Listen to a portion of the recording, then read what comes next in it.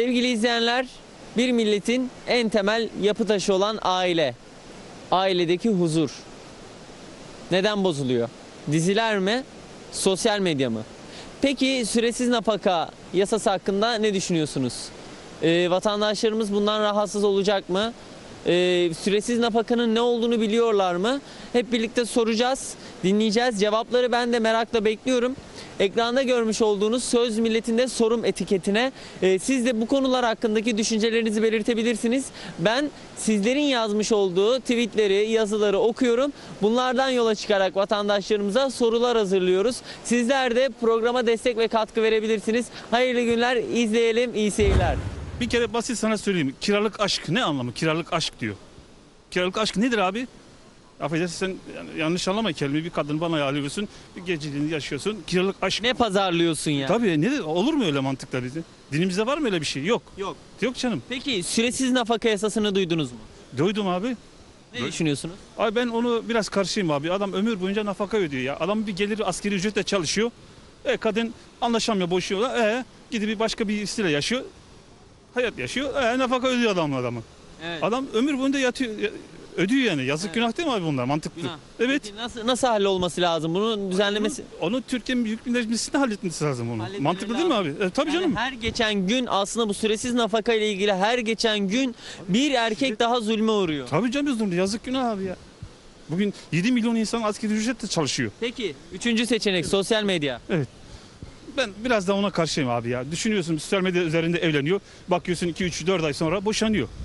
Niye öyle abi? Kendi aile aralarında niye gidip anlaşıp da görüşmüyorlar yani? Mantıklı değil mi abi? Evet, Hemen boşanmalar başlıyor. evet. Yani sosyal medyada sen niye onu beğendin? Niye ona yazdın? Olmaz abi. Ben far, şimdi ben benim bir köyünde bir kız çocuk Kayseri'de oturuyor. Benim bir köyünde aldı geldi kızı aldı götürdü medya üzerinde yani sosyal medya üzerinde e, görüştü. Hiçbir kere Kayseri ile Adıyaman'ın arasında ne kadar kilometre var? Aynen öyle. Değil mi abi? Aynen. Evet e, sevgili izleyenler bu arada e, arkadaki arkadaşlarla röportajımızı yaptık. Şu an tartışıyorlar büyük bir ihtimalle. Tartışmayın sıkıntı yok. O konuyu hallettik biz. Evet. Ee, şiddetli geçimsizlik var tabi. Ee, Nedir bu şiddetli geçimsizlik? ya insanlara aldığı ücretler belki yetmiyor. O yüzden böyle oluyor. E tabi Üç tane de size bir e, ipucu vereyim. Yani şık vereyim. Sosyal medya evliliği bitiriyor mu? Aile yapısını bozuyor mu? E, sosyal medyayı evet evet biraz sosyal medyada sıkıntılarımız var. Çok da sosyal medyaya karşı değiliz. Kullanmasını bilmek lazım yani. Nasıl kullanacağız? Siz nasıl kullanıyorsunuz? Arkadaşlarımı ekliyorum. Öyle tanımadığım kimseye pek eklemem yani. O tarz kullanırım. O tarz. Peki baktığımız zaman e, aynı zamanda süresiz nafaka yasasını duydunuz mu? Ben nafakaya karşıyım abi. Çocuk olmasa bile nafaka ödüyor erkek. Ben nafakaya karşıyım. Bu gönüllüden gelen bir şeydir. Ben nafakaya karşıyım abi. Nafakaya karşısınız. Karşıyım abi. Olabilir. Ayrılıklar olabilir. ikinci kez Ömür boyu. evlenmeler olabilir. Nafakaya ömür boyu nafakaya karşıyım. Peki diziler? Yani diziler bozuyor mu aile yapısını? Bozar, bozar. Diziler aile yapısını bozar. Onları da işte yönetmenlere falan sormak lazım. Bozar. Yönetmenlere sor- nasıl bozuyor? Neler var? Aldatma var. Ağlatma var, ahlaksız şeyler var, ahlaksız görüntüler var, konuşmalar var. Hepsi var. Siz saydınız zaten. Var. Pekala. Çok teşekkürler. Çok sağ olun. Teşekkür ederim.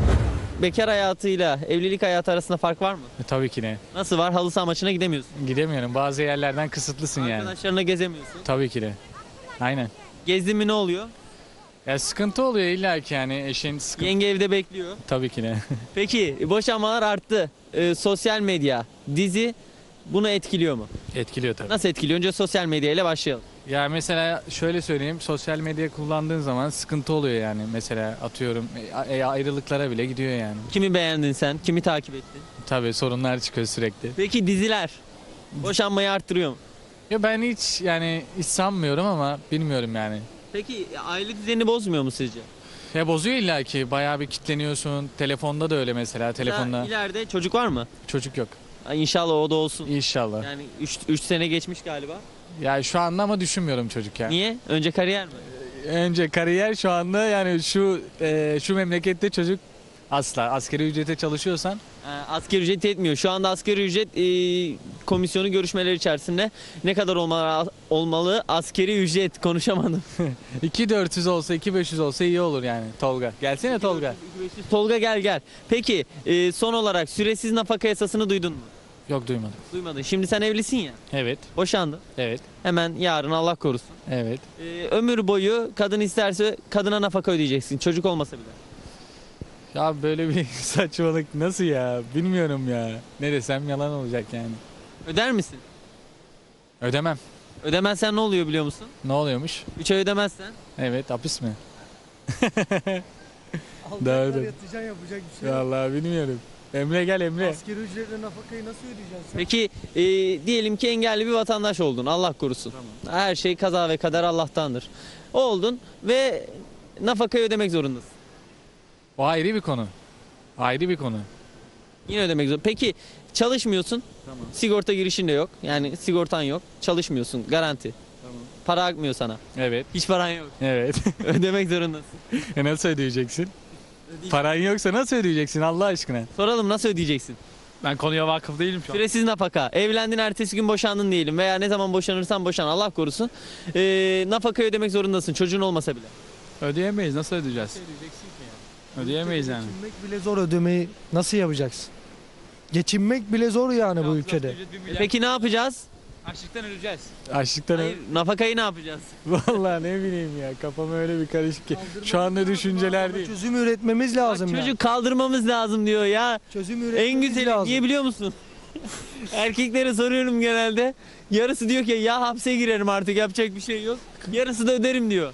Kal- Kaldırmamız lazım. Aynen abi kaldı. Birbirimize destek olmamız lazım. Kaldırmamız lazım. Şu atsalar ne güzel olacak biliyor musun? Konularında. Asgari Evet. ücreti 3 milyar istiyoruz. Kaç para? 3 milyar. Gel gel böyle gel. Olur mu? Ne Olur, diyorsun? Olur inşallah ya. Ne kadar bekliyorsun? Yine ölüsü 2 2 200 bekliyorum yani ben. Yeter mi? Yetmez de öyle olsun. Biraz rahatlatır diyorsun. Evet. Evet. Nerede çalışıyorsun? Hiçbir yerde. İş arıyoruz. Şu anda iş bakıyoruz ya. İş bakıyorsun şu an. şu anda iş. Nerede nereden geldin? Ya şu anda e, Mecidiyeköy'den geldik. İş görüşmesine gittik de uyum Can sağlamadı bir yani. şirket, Olmadı mı? Evet. reklam da yapalım. Ne işi yapmak istiyorsun? Ya normalde imalatta çalışıyordum ben ayakkabıda da şu anda işte bakıyorum herhangi bir iş yani. Pekala. Çok teşekkürler. Görüşmek üzere. Kendinize iyi bakın. Hayırlı günler. Boşanmalar Boşanmaların artma sebebi e, insanların anlaşılmasından kaynaklanıyor. Süresiz nafaka yasasını duydunuz mu? Yok, duymadım. Şimdi siz ev- evli misiniz? Evliyim. Allah korusun boşandınız diyelim. Eşinize ömür boyu nafaka ödemek zorundasınız. Çocuk olmasa bile. Yanlış bir şey ya. Çok yanlış. Kanun yetersizliğinden kaynaklanıyor. Ya da daha evvelki yapılan kanunların e, yani sürekli e, olmasından kaynaklanıyor. Peki diziler ve sosyal medya aile yapısını bozuyor mu? Ve tabii ki etkin. Yani izlediğiniz diziyi örnek alan bir sürü gençlik var. Çocuklar var. Şimdi telefon nasıl kullandıkları gibi bağımlısı oluyor. Dolayısıyla öyle yaşamak istiyor. Peki e, sosyal medya? Ya sosyal medyanın da etkisi var tabii insanların yaşayışları hakkında e, yön gösteriyor tabii ama e, o o kadar etkin değil ama diziler daha fazla etkin. Pekala çok teşekkür ederiz çok sağ olun. Evet sevgili izleyenler Söz Milletin programının sonuna geldik.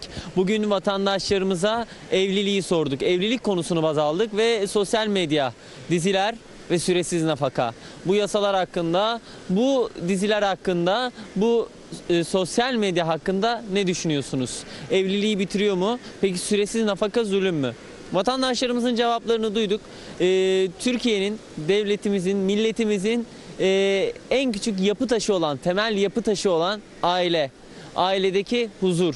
Yani süresiz nafaka e, ailedeki huzuru da aynı zamanda bozuyor. Vatandaşlarımız da bu cevapları verdi. Söz Milletin programında bugünkü konularımız bu şekildeydi. Sevgiyle kalın ben Mert Armağan. Hafta içi her gün 12.30'da ve 18.30'da beni izleyebilirsiniz. Hayırlı günler.